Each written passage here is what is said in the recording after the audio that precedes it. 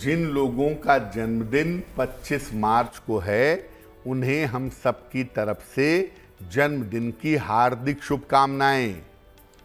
आने वाले वर्ष में आपका स्वास्थ्य बेहतर होता जाएगा, करियर में बदलाव और सुधार होगा, धन की स्थिति कुल मिलाकर बेहतर रहेगी।